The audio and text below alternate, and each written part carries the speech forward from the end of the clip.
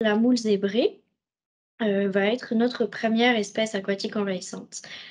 c'est un bivalve d'eau douce originaire d'Europe. Elle a été observée pour la première fois en Amérique du Nord en 1986. elle, va mesure, elle mesure entre 0,5 et 5 cm de long, donc elle est généralement plus petite que les autres moules. Sa coquille est, sa coquille est claire ou brune et quelquefois avec ou sans rayures foncées. Généralement avec rayures, donc sur la photo c'est avec, mais quelquefois on peut la trouver sans.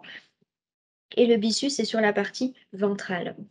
Euh, elle va habiter dans les habitats euh, de profondeur jusqu'à 12 mètres. Euh, elle préfère les eaux douces à faible débit et le substrat, les substrats rocheux ou denses. En termes d'impact, elle a une haute capacité de reproduction. Cet impact-là, nous allons le retrouver pour chaque espèce aquatique envahissante dans ce webinaire.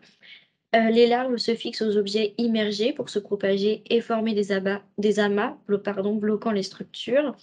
Elles se fixent également sur les moules indigènes, euh, les empêchant de respirer et de se nourrir. Les moules adultes filtrent de grandes quantités de, phytoplancton, privant ainsi les autres espèces de nourriture, et elle peut transmettre euh, le botulisme aviaire, qui est un virus mortel pour les oiseaux aquatiques.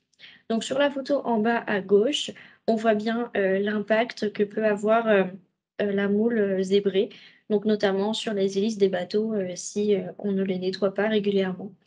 Donc en termes de prévention et de contrôle, on va utiliser des filtres et racler régulièrement les surfaces couvertes par les moules.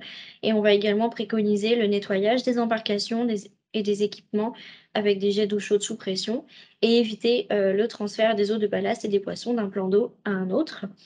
Euh, il faut également savoir que chaque femelle va pondre entre 30 000 et 1 million d'œufs par an. 1 euh, million, ce qui est énorme.